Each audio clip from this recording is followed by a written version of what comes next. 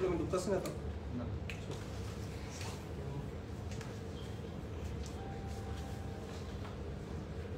Good evening সাংবাদিক বন্ধুরা সবাইকে নমস্কার এবং ধন্যবাদ জানাই উপস্থিত হওয়ার জন্য। আমাদের আজকে ক্যাবিনেট বৈঠক ছিল। মাননীয় মুখ্যমন্ত্রী পৌরহিত্যে ক্যাবিনেট বৈঠক সম্পন্ন হয় এবং কিছু অল্প কয়েকটা সিদ্ধান্ত যেটা গুরুত্বপূর্ণ সিদ্ধান্ত আছে, গ্রহণ করা হয়েছে, সে বিষয়ে আপনাদের মাধ্যমে রাজ্যের সমস্ত জনগণকে আমরা অবগত করতে চাইছি মহাকরণের পক্ষ থেকে।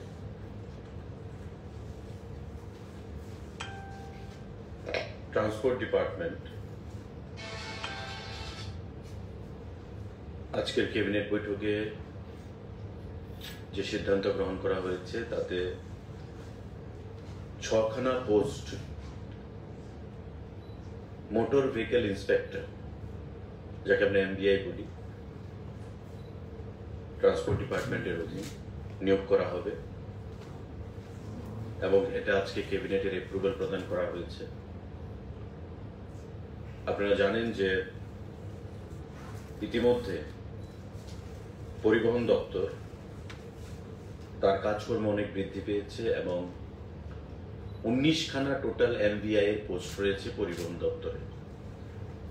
তার মধ্যে তেরোখানা পোস্ট ফিজিক্যালি অকুপাইড বাকি ছখানা যে পোস্ট সে ছখানা পোস্ট অ্যাবলিস্ট হয়ে গেছিল।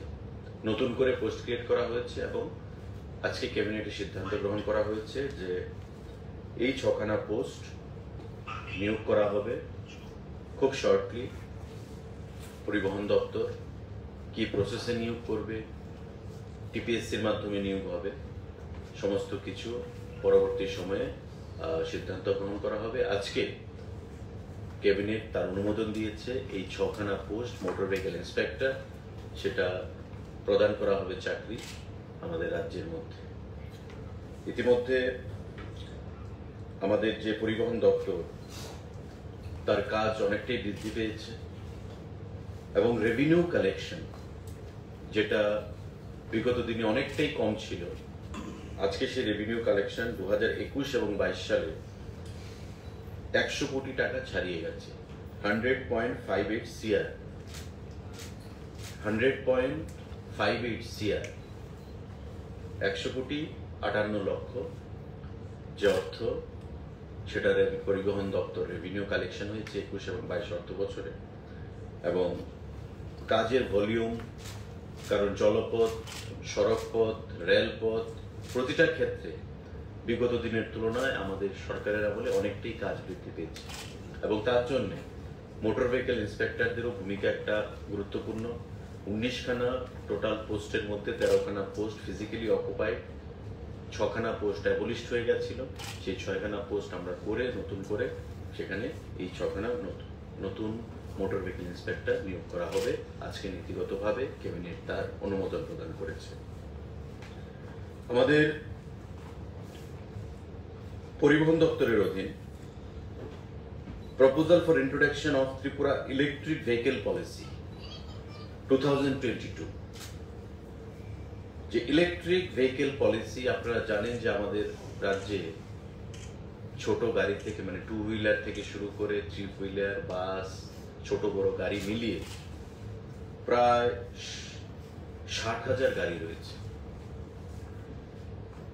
তার আগে ইতিমধ্যে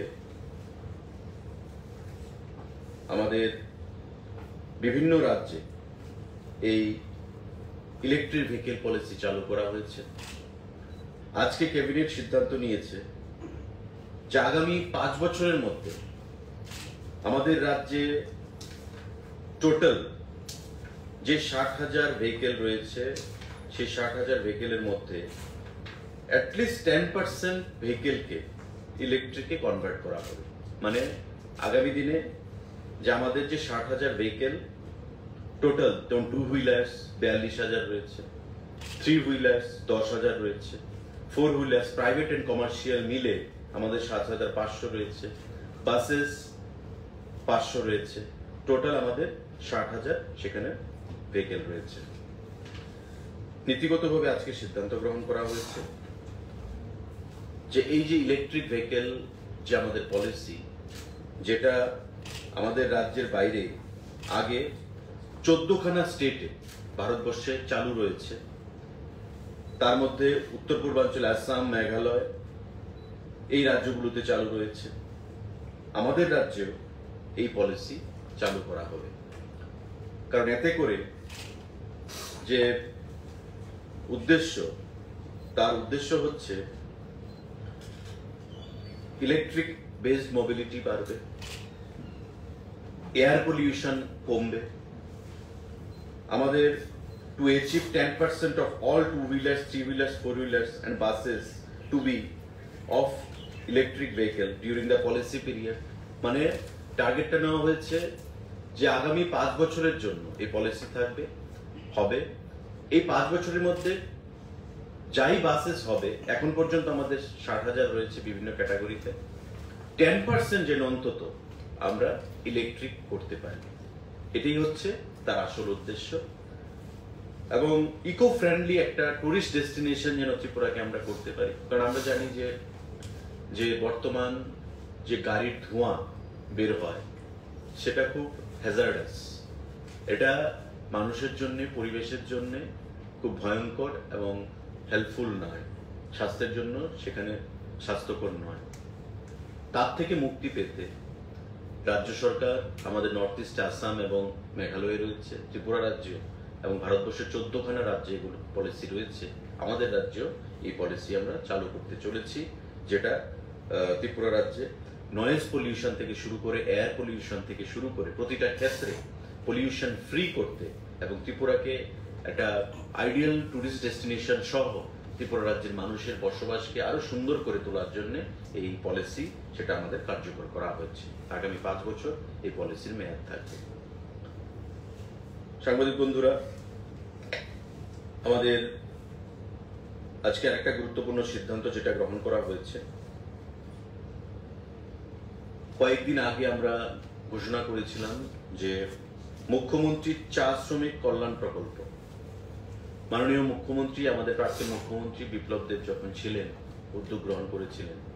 যে রাজ্যে যতগুলো চা বাগান রয়েছে এবং চা বাগানের অধীন যে শ্রমিক চা বাগানের সঙ্গে যুক্ত, তাদেরকে শিক্ষা, স্বাস্থ্য, বাসস্থান, পানীয় জল প্রতিটা ক্ষেত্রে তাদের বসবাসকে সুন্দর করে তোলার জন্য একটা প্রকল্প আনা হয়েছিল যে মুখ্যমন্ত্রী চা শ্রমিক কল্যাণ প্রকল্প। এবং এই প্রকল্পের অধীনে ঘোষণা করা হয়েছিল তাদেরকে রাজ্য সরকার থেকে খাস ল্যান্ড প্রোভাইড করা হবে, প্রদান করা হবে। এবং আজকে সেই সিদ্ধান্ত কার্যকরী মানে করার জন্য সিদ্ধান্ত হয়েছে যে দু থেকে তিন ঘণ্টা করে জায়গা তাদেরকে প্রদান করা হবে।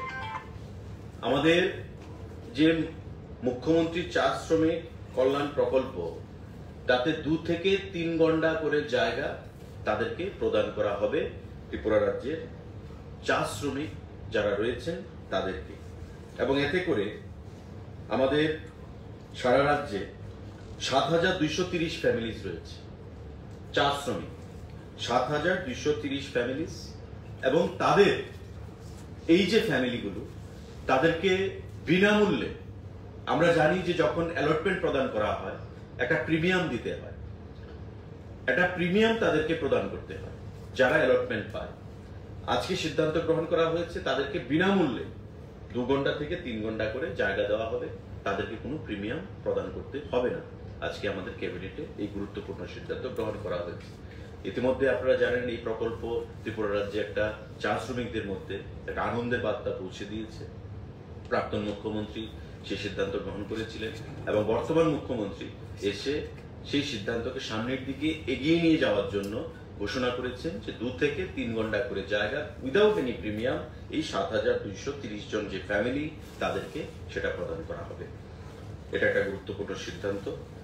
এবং আরেকটা গুরুত্বপূর্ণ সিদ্ধান্ত, সাংবাদিক বন্ধুরা, প্রতিবারই, বছরে দুবার, আমরা কৃষকদের কাছ থেকে এমএসপি আমাদের যে সাপোর্ট প্রাইস তাতে আমরা ধান ক্রয় করে থাকি। ক্যাবিনেট আজকে সিদ্ধান্ত গ্রহণ করেছে। যে এবারকার সিজনে, যে খারিফ সিজন, এই খারিফ সিজনে কুড়ি হাজার এমটি পেডি আমরা সরকার কৃষকদের কাছ থেকে আবার প্রকিউর করব। সারা রাজ্যে প্রতিবার সরকার আমাদের গঠিত হওয়ার পর থেকে, আমরা বিগত দিনে দেখেছিলাম যে সরকার ছিল, রাস্তার মধ্যে লাল ঝান্ডা দিয়ে কৃষকদেরকে নামিয়ে দিত। কৃষকদের কাছ থেকে ধান ক্রয় করতে হবে, এমএসপি রেটে ধান ক্রয় করতে হবে। অথচ নিজেরা সরকারের থেকে সেই উদ্যোগ গ্রহণ করেন। আমরা ঘোষণা করেছিলাম যে আমরা যদি সরকারে আসি, আমরা কৃষকদের কাছ থেকে ধান ক্রয় করব। আমাদের প্রধানমন্ত্রী দেশের কৃষকদের অর্থনীতিকে শক্তিশালী করার জন্য, তাদের ইনকামকে দ্বিগুণ করার জন্য ঘোষণা দিয়েছে এবং তার মধ্যে আমাদের রাজ্যে সেই প্রকল্পকে, সেই ইচ্ছাকে বাস্তবায়িত করার জন্য আমাদের রাজ্যে যে সরকারের যে প্রচেষ্টা যে এমএসপি রেটে কৃষকদের কাছ থেকে ধান ক্রয় করা, সেটা একটা গুরুত্বপূর্ণ সিদ্ধান্ত। এবং দু সালে সরকার গঠিত হওয়ার পর থেকে আমাদের এই সিদ্ধান্ত আমরা কার্যকর করে চলেছি এবং এবারও রাজ্য সরকার সিদ্ধান্ত গ্রহণ করেছে যে কুড়ি হাজার এমটি ধান কৃষকদের কাছ থেকে আমরা ক্রয় করব। আপনারা নিশ্চয়ই জানেন যে এখন পর্যন্ত আমাদের যে সিদ্ধান্তগুলো আমরা গ্রহণ করেছি, তাতে কৃষকদের কাছ থেকে রাজ্য সরকার যে পরিমাণ ধান আমরা ক্রয় করেছি, কোনো সিজনে, খারিফ এবং রবি সিজনে কখনো সেটা বাদ যায়নি। বত্রিশটা টেম্পোরারি পারচেস সেন্টার রয়েছে সারা রাজ্যে। অর্থাৎ আমাদের যে মহকুমাগুলো সেই মহকুমাগুলোর বাইরেও যে তেইশখানা আমাদের সাব ডিভিশন মানে মহকুমা রয়েছে, তার বাইরেও সেন্টার রয়েছে। অর্থাৎ প্রতি মহকুমাতে একটা রয়েছে, তার বাইরেও আমাদের সেন্টারগুলো রয়েছে এবং টোটাল হচ্ছে বত্রিশটা আমাদের পারচেস সেন্টার এই বত্রিশটা পারচেস সেন্টারের মাধ্যমে এবারও খারিফ সিজনে কুড়ি হাজার এমটি ধান ক্রয় করা হবে। তাতে যে খরচ হবে, সেটা হচ্ছে প্রায় পঁয়তাল্লিশ কোটি টাকা। পঁয়তাল্লিশ কোটি টাকার ধান কৃষকদের কাছ থেকে ক্রয় করা হবে এবারকার সিজনে। আমাদের বত্রিশটা সেন্টারের মাধ্যমে। এবং এখন পর্যন্ত আমরা একশো বিরানব্বই কোটি টাকার ধান ক্রয় করতে পেরেছি কৃষকদের কাছ থেকে। আমাদের সরকার গঠিত হওয়ার পর। একশো বিরানব্বই কোটি টাকার ধান আমরা ক্রয় করতে পেরেছি। আমাদের যে টোটাল নাম্বার অফ যে কোয়ান্টাম যেটা আমরা কিনেছি, সেটা হচ্ছে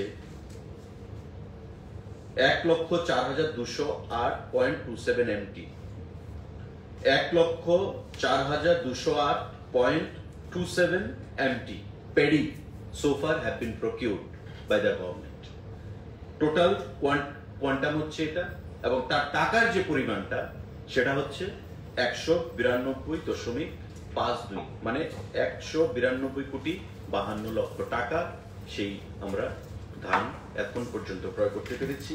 এবং তারই অঙ্গ হিসাবে আমাদের জুন মাসের ফার্স্ট উইক থেকে বত্রিশটা সেন্টারে কুড়ি হাজার এমটি ধান ক্রয় করা হবে, যার টোটাল মূল্য হচ্ছে প্রায় পঁয়তাল্লিশ কোটি টাকা এবং উনিশ টাকা চল্লিশ পয়সা রেটে পার কেজি এমএসপি হচ্ছে নাইনটিন পয়েন্ট ফোর জিরো টাকা। সুতরাং এটা একটা কৃষকদের অর্থনীতিকে, অর্থনৈতিক বুনিয়াদকে শক্তিশালী করার জন্য এটা বলিষ্ঠ সিদ্ধান্ত রাজ্য সরকার গ্রহণ করেছে, সরকার গঠনের পর থেকে। এবং এখন পর্যন্ত একশো বিরানব্বই কোটি টাকার উপর ক্রয় করা হয়েছে। এবং আমাদের যে টোটাল কোয়ান্টাম এবারও খারিফ সিজনে কুড়ি হাজার এমটি পঁয়তাল্লিশ কোটি টাকা দিয়ে আমরা ক্রয় করব বত্রিশটা সেন্টারের মাধ্যমে, যা জুন মাসের প্রথম সপ্তাহ থেকে শুরু হবে এবং এটা চলবে, আগামী রবিতেও আমরা ক্রয় করব। সেই লক্ষ্যমাত্রা আমাদের ধার্য করা হয়েছে। তো এই সিদ্ধান্তগুলো জানানোর জন্যেই আজকে আপনাদের এই সাংবাদিক বৈঠক, সাংবাদিক বন্ধুরা, আমাদের ছোট্ট পরিসরে ক্যাবিনেট মিটিং ছিল, কিন্তু কিছু গুরুত্বপূর্ণ সিদ্ধান্ত সেখানে গ্রহণ করা হয়েছে। আপনাদের সবাইকে ধন্যবাদ। কারোর যদি কোনো প্রশ্ন থাকে please feel free to raise any nineteen উনিশ টাকা চল্লিশ পয়সা। Nineteen point four zero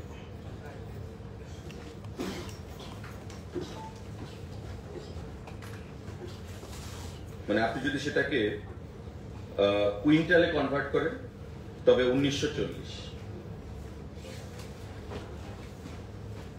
Thank you.